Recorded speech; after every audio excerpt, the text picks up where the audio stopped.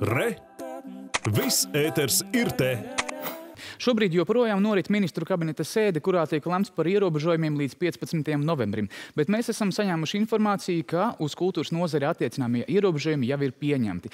Un valdības lēmums paredz, ka kultūra vietas, bibliotēkas un izstāžu norišu vietas tiks slēgtas, bet darbu varēs turpināt grāmatnīcas.